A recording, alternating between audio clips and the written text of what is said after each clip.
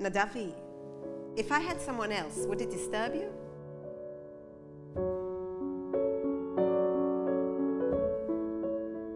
שישה מיליון יהודים נספו בשואה, אך כמה מהשורדים הצליחו לחיות?